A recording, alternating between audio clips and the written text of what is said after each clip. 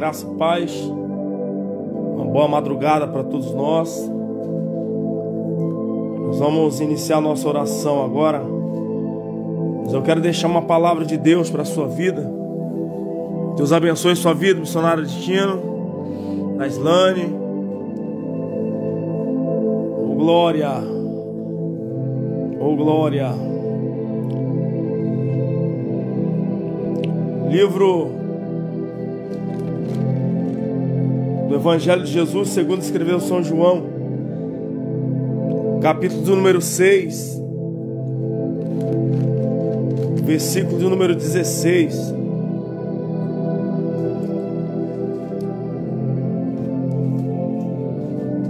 A epígrafe do texto diz assim: Jesus anda por sobre o mar. Ao desembarcar o dia, os seus discípulos desceram para o mar e, tomando um barco, passaram para o outro lado, rumo a Cafarnaum. Já se fazia escuro e Jesus ainda não viera ter com eles, e o mar começava a empolar-se, agitado por vento rijo que soprava. Tendo navegado uns 25 a 30 estádios, eis que vieram, vier, viram Jesus andando por sobre o mar, aproximando-se do barco, e ficaram possuídos de temor. Mas Jesus lhes disse: Sou eu, não temais. Então eles, de bom grado, o receberam e logo o barco chegou ao seu destino. Maravilha. Nós acabamos de ler uma palavra bastante interessante agora, irmãos. Você que está escutando a nossa voz agora, através dessa live. Nós acabamos de ler uma passagem bastante interessante que, que nos chama muita atenção em, em muitos aspectos aqui. Né? Em outras traduções, vai dizer que Jesus estava dizendo para eles: passamos para outra banda do lago, ou passamos para outra banda do mar. Só que em dado momento, Jesus não vai com eles, carnalmente não. Né? E os discípulos então vão seguir a ordem de Jesus debaixo de uma palavra. Quando Jesus disse para eles: passamos para outra banda e Jesus não vai, se nós pararmos para analisarmos o contexto, como que se Jesus chama os seus discípulos, convoca eles para passar para o outro lado, dizendo: passamos e Jesus não vai.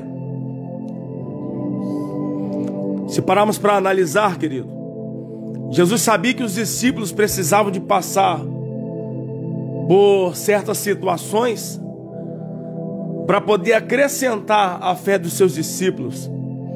Se nós pararmos para analisar no contexto dessa história, nós vemos que a maioria dos discípulos convertidos a Cristo ali, né, alguns deixaram suas famílias para seguir o Mestre, outro abandonaram as suas profissões para seguir o Mestre, outro abandonaram tantas coisas para poder seguir o Mestre.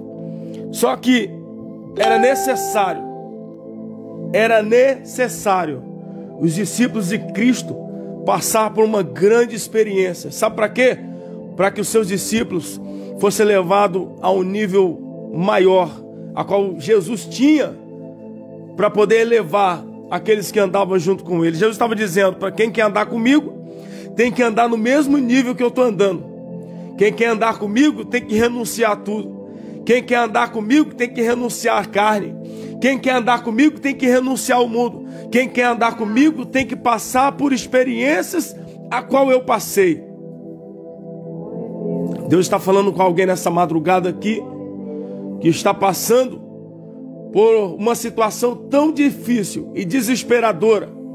E que essa situação que você está enfrentando já tirou lágrimas de você. Quem sabe você já chorou no dia de hoje. Quem sabe você já, já chorou durante essa semana. Ou quem sabe você está chorando nesse exato momento em que você está ouvindo a minha voz. A Bíblia vai dizer agora que os discípulos agora estavam no mar. Eles tomaram um barco, passaram para o outro lado, rumo a Cafarnaum. E já se fazia escuro, ou seja, já era de noite, já era tarde. E Jesus não veio estar com eles. A Bíblia vai dizer agora que começou a soprar o vento, uma tempestade muito forte. E quando os discípulos estavam ali atônitos, olhando para o que estava acontecendo, para o lado de fora do barco, as águas queriam entrar dentro do barco, as intempéries queriam fazer o barco naufragar. Glória a Deus. E quando eles acharam que o barco ia pique, que o barco ia naufragar, alguém vem andando sobre as águas agora, em direção aos seus discípulos. Em outras traduções vai dizer, que era na quarta vigília da noite, ou seja, entre três e seis da manhã. Agora você começa a imaginar comigo agora os discípulos aflitos, atônitos, olhando a situação que estavam passando, era tão desesperadora. As águas tentando entrar dentro do barco, o barco quase indo a pique, quase naufragando, e o desespero agora batendo dentro do coração deles. Com certeza, diversos pensamentos, pensamentos diversificados, passou no coração dos discípulos. Quero acreditar, a Bíblia não diz, mas quero acreditar que alguns pensou em pular fora do barco. Outros pensaram em segurar no convés da casaria, segurar no, no, no mastro do barco, no, no, seja, lá o que seja. Eles queriam se agarrar em uma, alguma coisa, queriam segurar em alguma, em, em alguma coisa. Porque se o barco viesse a pique, se o barco naufragasse, com certeza eles morreriam. Só que, queridos, de madrugada, na quarta vigília da noite, entre três e seis da manhã, já beirando ao amanhecer, ele vem andando sobre as águas em direção aos seus discípulos. Sabe o que Deus está dizendo aqui? Salmos de número 30, verso 5, a parte B ou C do versículo, vai dizer que o choro pode durar uma noite, mas a alegria, ela vem pela manhã. Os discípulos estavam passando por esse algo tão terrível de madrugada, já amanhecendo. Só que quando eles achavam que não ia conseguir vencer, quando eles já achavam que não ia conseguir sair daquela situação, a alegria agora vem caminhando pela manhã sobre as águas, em direção aos seus discípulos, dizendo para ele: Não temais, sou eu. Quem sabe Estou falando para alguém nessa madrugada que, que o vento soprou dentro da sua casa. O vento soprou no seu trabalho.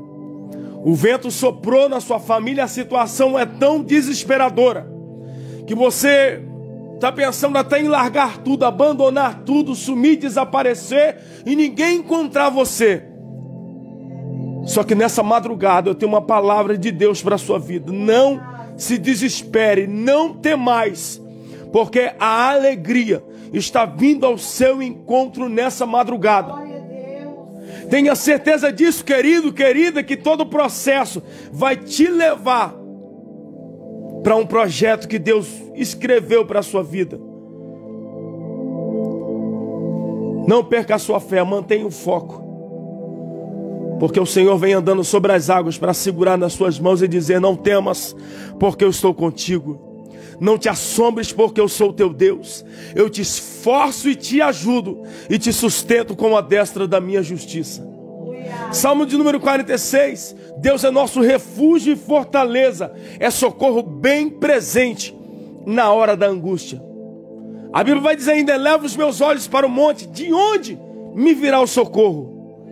O meu socorro vem do Senhor, que fez os céus e que também fez a terra. Se você notar, Jesus manda os seus discípulos sair da terra e entrar mar adentro.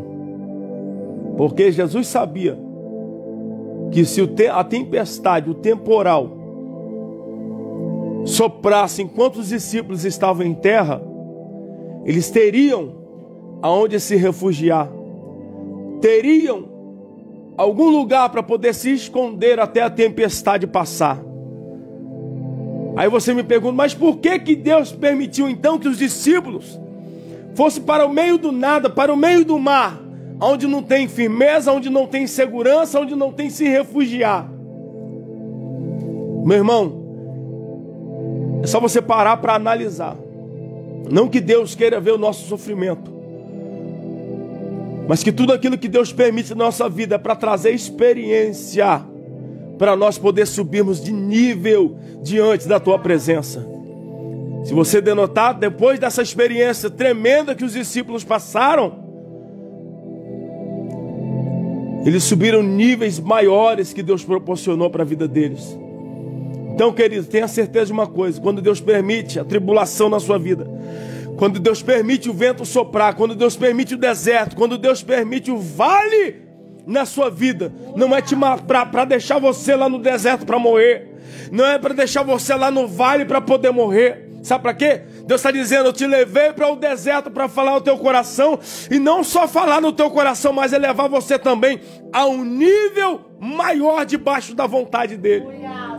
Esse deserto não vai te matar, esse vale não vai te matar, a tempestade que soprou não vai te matar, não vai te destruir. Apenas Deus dizendo: Eu vou te elevar a um nível maior, quer seja espiritual quer seja de maturidade, quer seja para acrescentar o grau da sua fé e colocar você em lugares onde ninguém nunca chegou.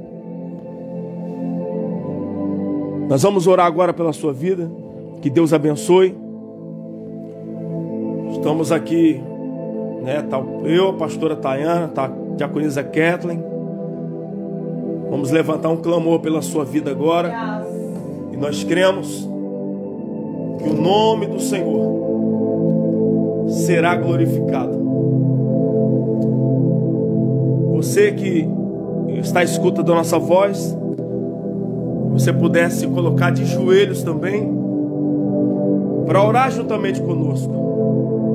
Você que até esse presente momento está acordado, só Deus sabe que você está passando. Há sorrisos que só o homem vê, mas há lágrimas que só Deus vê. Há situações que aos olhos humanos parecem ser fácil de ser resolvido, mas só Deus sabe que esse problema que você tem enfrentado dentro de você você está gritando e dizendo é complicado, é difícil. Só que a Bíblia diz, querido, que para Deus nada, nada é impossível. Então, dobra os seus joelhos juntamente conosco agora. Nós vamos orar ao Senhor e eu creio que o Senhor vai te visitar nessa madrugada. Em o nome do Senhor Jesus. Glória a Deus. Pai, eu quero te exaltar, quero glorificar o teu nome altiva e poderoso. Eterno Deus da minha alma, da minha vida, do meu espírito. Glória, glória. A tua palavra diz, meu Deus, que todo aquele que pede recebe, todo aquele que busca encontra, todo aquele que bate abrir-se-lhe-á. Eterno Deus da minha alma, nessa madrugada de oração. Aonde, Senhor, nós queremos te agradecer pelo dia que se findou dia de terça-feira que não volta mais, meu Pai. Queremos, Senhor, te glorificar e oferecer para o Senhor as primeiras horas desse novo dia. Como primícias, meu Pai, nós oferecemos a Ti as primeiras horas desse dia de quarta-feira. Nos posicionamos diante da Tua presença agora para te enaltecer, para te glorificar e te adorar, meu Pai. A Tua palavra diz que a mão do Senhor não está encolhida para que não possa salvar, nem seus ouvidos agravados para que não possa ouvir. Senhor, nós elevamos nosso coração, nosso pensamento diante da tua presença agora, para orarmos ao Senhor, em prol daqueles, meu Pai, que estão à escuta da nossa voz agora, aqueles que estão assistindo essa live, os que compartilharam essa live, meu Pai. Eu quero apresentar a vida, Senhor. A vida, Senhor, do Kings Gui nas tuas mãos, do Aristino, da Daislane, da Ana Clara. Eu apresento ao Senhor, meu Pai, todos aqueles, Senhor, que estão a nossos escudos, que vão ver depois essa live, meu Pai. Ó eterno Deus, a minha alma, Oh, a tua palavra diz que a tua mão não está encolhida para que não possa salvar, nem os seus ouvidos agravados para que não possa ouvir, meu Pai. Deus eterno, eu quero apresentar a vida de cada um dos seus filhos agora, meu Pai. Essa pessoa que está enfrentando um deserto tão terrível, que dentro desse deserto não- essa pessoa não está entendendo ó os processos que ela tem enfrentado, mas que o Espírito Santo do Senhor possa entrar agora, meu Pai. Sim, Senhor, nas limitações dessa pessoa. Ah, meu Pai, aonde o Senhor age dentro das nossas limitações. Porque o Senhor nos fez ser- seres humanos limitados na tua presença. E quando, ó Deus, no limite da nossa força, quando nós achamos que não vamos conseguir, quando nós achamos que não vamos avançar, quando nós achamos que não vamos prosseguir, é então que o Senhor entra, meu Pai, com mão forte, dizendo para nós não temermos, porque quem escreveu a caminhada foi o Senhor. Eu quero apresentar, Senhor, a família do Diácono Valci, família da irmã Benedita, seu Antônio, meu pai, seus netos, seus filhos. Toma, ó Pai querido, a vida do Ari nas tuas mãos. Ah, meu Deus, essa pessoa que está com seus joelhos dobrados agora dentro da sua casa, no seu quarto, na sua sala, onde quer que esteja, que está agora orando conosco, clamando ao Senhor nesse momento, meu Pai. Senhor, nessa madrugada nós queremos cancelar todo o projeto do diabo. Nós queremos cancelar agora, meu Pai, neutralizar e cancelar todo projeto do inferno contra essa casa. Todo projeto do inimigo seja cancelado agora. Todo projeto do diabo seja cancelado agora contra essa vida, contra essa casa, contra essa família, meu Pai. Porque a tua palavra diz, meu Deus, que Satanás ele anda ao nosso derredor buscando a quem possa tragar. Mas, ó Deus, eu creio também que a tua palavra diz que nenhum mal te sucederá e nem praga alguma chegará na sua tenda, porque aos teus anjos dará ordem ao teu respeito para te guardar em todos os seus caminhos. Meu Deus, eu quero apresentar os sonhos, os projetos, os planos dessa pessoa. Essa pessoa, meu Pai, que sonha em, em progredir na sua vida espiritual. Essa pessoa que sonha, meu Pai, em subir um alto nível, meu Pai, diante da tua presença de espiritualidade, de maturidade, meu Pai, na área profissional, na área conjugal, eu apresento ao Senhor. Toma, Senhor, as famílias que estão em crise, meu Pai. Os lares que estão enfrentando crise, casamentos que estão se arrastando, meu Pai. Oh, meu Deus, a família, ela é constituída pelo Senhor. É o primeiro ministério que foi constituído por Ti. Deus, é o matrimônio, e a família. Deus, o laço conjugal. E Satanás está tentando dizimar as famílias, destruir as famílias. Mas nós cancelamos agora todo plano de Satanás contra esse casamento, contra esse casal, contra esta casa, contra esse jovem, contra essa jovem, contra essa criança. Nós cancelamos agora todo plano diabólico. Essa pessoa, meu pai, que é perseguida por obra de macumbaria, de bruxaria nós queremos, meu Pai, repreender agora, destruir agora, desfazer agora, quebrar a maldição que foi lançada dentro dessa casa, quebrar a maldição que foi lançado sobre a vida dessa pessoa. Deus blinda o coração desse homem, blinda o coração dessa mulher agora, que esteja blindada pelo poder que é no sangue de Jesus. Sim, meu Pai, para que as coisas externas não venham, Senhor, entrar na casa espiritual dessa pessoa para deturpar a fé, para destruir a fé e fazer com que essa pessoa desacredite nas, nos milagres nas mãos do Senhor. Meu Deus, essa pessoa que está passando uma tribulação tão terrível, meu Pai. Essa pessoa que tem batido em tantas portas, mas não bateu na porta certa ainda. Que o Senhor possa direcionar, meu Pai Sim, meu Deus, que o Senhor possa direcionar essa pessoa para a porta certa, para bater na porta correta. Sim, a tua palavra diz que o Senhor é aquele que tem a chave de Davi, é o que abre ninguém fecha, e o que fecha ninguém abre. Sim, meu Pai, eu creio. Esse pai de família que está, meu Pai, lutando, batalhando, correndo atrás, batendo na porta, mas as portas estão fechadas. Oh, meu Deus, em nome de Jesus. Quero clamar o Senhor agora. Em nome de Jesus, eu quero clamar o Senhor agora.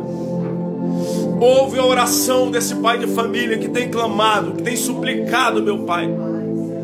Que tem clamado, pedindo por socorro, uma porta aberta, meu Deus. Porque, ó Pai, o Senhor conhece a necessidade do coração dessa pessoa. O Senhor conhece a necessidade dessa família. Eu quero apresentar o Senhor agora a necessidade dessa casa. Essa pessoa que tem olhado, meu Pai, para os processos. E uma vez olhando para os processos, só o que vem ao teu coração é o desânimo, meu Pai. De jogar tudo para o alto, de abandonar tudo. Mas nessa madrugada de oração, meu Pai, nós, eu oro a Ti, peço ao Senhor, ao Teu Espírito Santo, entra onde nós não podemos entrar.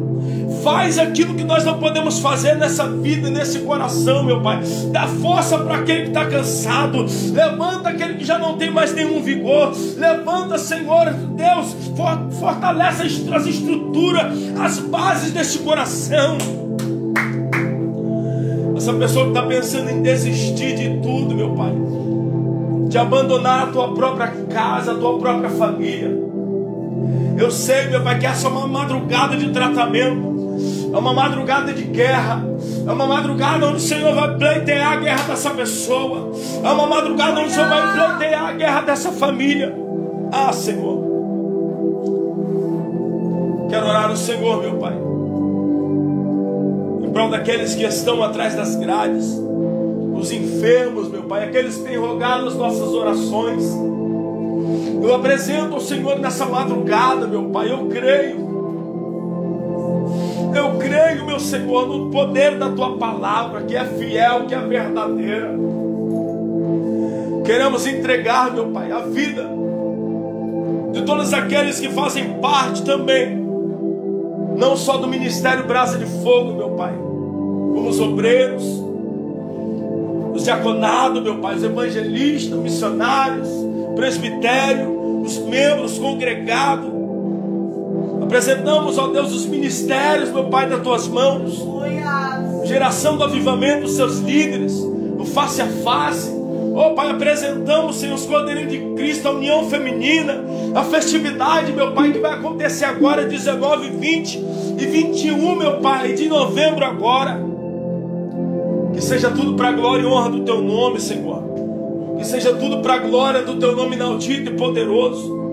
Usa, Senhor, os Teus filhos que vão estar ali, meu Pai, louvando a Ti, adorando o Teu nome na beleza da Tua santidade. Meu Pai, quero apresentar a todos os pastores, meu Pai, lideranças em geral, oh meu Pai, a cada ministério, Senhor, que o Senhor tem levantado sobre a face dessa terra, eu apresento a Ti, que o Senhor possa dar força para os pastores, dar força para a liderança, meu Pai, suportar tantos ataques, tantas investidas, meu Pai, contra o líder, contra a família, contra, o Pai, a todos aqueles que se dispõem a pelejar, meu Pai, pela causa do Senhor.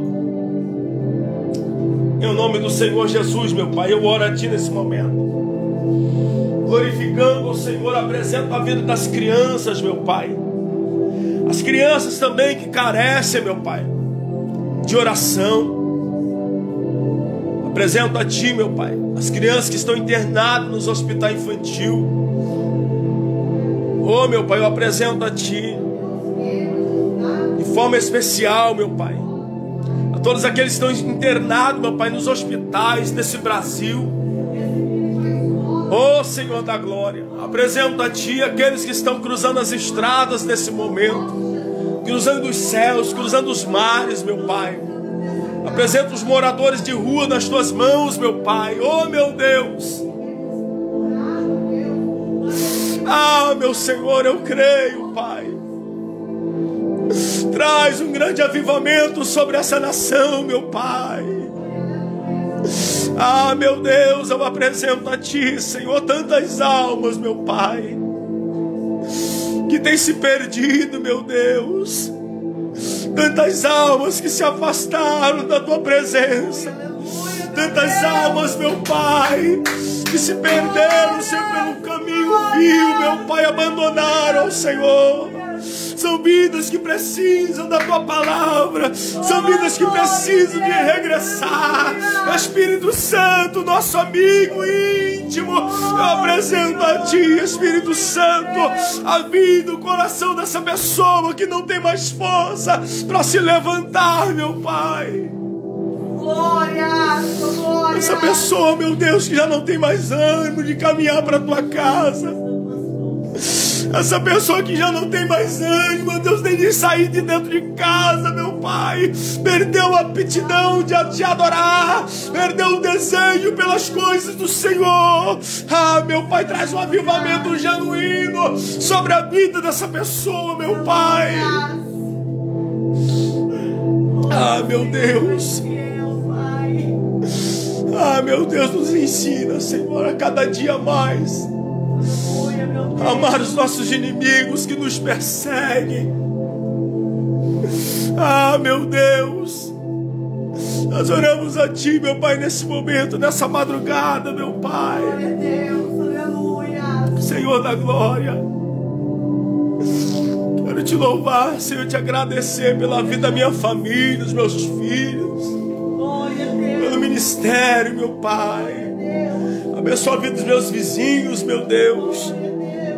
Toma nas tuas mãos de forma especial. Ah, Senhor da glória. Toma, Senhor, o povo ali de Alto Rio Novo, de Colatina, de Linhares, o povo de Cariacica, de Serra, de Fundão, meu Pai. Sim, meu Deus, o povo, Senhor. Os irmãos ali de Cachoeiro, de Itapemirim, meu Pai. De Alfredo Chaves. Ah, Senhor de Guarapari, meu Pai. Todos aqueles, meu Pai, que irão ouvir, meu Pai, essa live nesse dia, que sejam alcançados pela tua promessa, meu Pai, que sejam alcançados pela tua palavra, que sejam alcançados pelo teu amor, pois o teu amor nos alcança todos os dias, o teu amor nos chama todos os dias, meu Pai, para nos aproximar a cada, cada vez mais diante do Senhor. Ah, meu Deus, que amor é esse que nos constrange, Senhor. Ah, se a tua palavra diz que Deus amou o mundo de tal maneira que deu o seu único filho para que todo aquele que dele crê não pereça, mas tenha vida eterna. Trabalha no coração desse jovem, meu pai. Trabalha no coração dessa jovem, meu pai. Senhor, meu pai, coloca, oh Deus, obediência no coração desses jovens para obedecerem os seus pais, que é o primeiro mandamento com promessa, meu Pai, honrar o pai, honrar a mãe, para que os seus dias se prolonguem sobre a face dessa terra, meu Pai. Ah, meu Deus. Senhor, eu quero orar a Ti. Apresentar o Senhor aqueles que rogaram nossas orações, meu Pai. Aqueles, meu Deus, que mandaram mensagem dizendo: ore por mim, ora pela minha vida, ora pela minha família. Nós oramos, Senhor, pelas famílias dessa terra, famílias que foram constituídas pelo Senhor. Pai, eu peço a Ti para nos dar graça, nos dar força para permanecer, focados no propósito, sabendo que todo processo que vem, meu Pai, ele vai nos empurrar para o propósito que o Senhor designou para a nossa vida. Meu Pai, eu quero te agradecer por esse momento maravilhoso e oportunidade que o Senhor nos concedeu de estarmos aqui, prostrados diante da tua presença. Eu apresento agora a vida, Senhor, dessa pessoa que está dentro de casa, aonde o espírito de depressão tem rondado essa casa. Esse espírito maligno tem tentado colocar depressão na vida desse homem, na vida dessa mulher. Sai de dentro dessa casa agora, Satanás. Junta as tuas tralhas, a tua bagagem, desmonta a tua barraca de dentro dessa casa agora e saia. Bata em retirada agora, em nome de Jesus. Pai, coloca um, os teus anjos na entrada dessa casa agora, meu Pai dentro dessa casa. Blinda essa casa, blinda essa família. Eu oro ao Senhor, meu Pai, te agradecendo por esse momento maravilhoso de oração. E pela vida de cada um dos irmãos, meu Pai, que estão com seus joelhos dobrados, ou assentado no seu sofá agora. Eu oro ao Senhor agora, meu Pai, apresentando a vida desse teu filho a vida dessa tua filha em tuas mãos. Aqueles, meu Pai, que logo mais irão se levantar para poder ir para o seu trabalho. Que o Senhor possa dar o livramento, que o Senhor possa guardar a vida dessa pessoa de toda fúria maligna e diabólica, contra todo acidente de trabalho, no percurso da tua casa ao trabalho, de casa, do trabalho para casa. Pai, Quero te agradecer, meu Pai, por tudo. Em o nome do Senhor Jesus. Toma o culto dessa noite em suas mãos, meu Pai. Aonde a missionária Cristina vai estar ali ministrando a tua palavra. E nós vamos estar ali, meu Pai, adorando e glorificando o teu nome santo, bendito e poderoso. Eu oro a ti e agradeço por tudo, meu Pai. Em o nome do Senhor Jesus. Amém.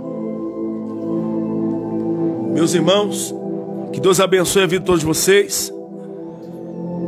Ao final dessa oração, quero fazer uma convocação para você que está escutando da nossa voz agora, nessa madrugada, e você que vai ouvir essa live durante esse dia.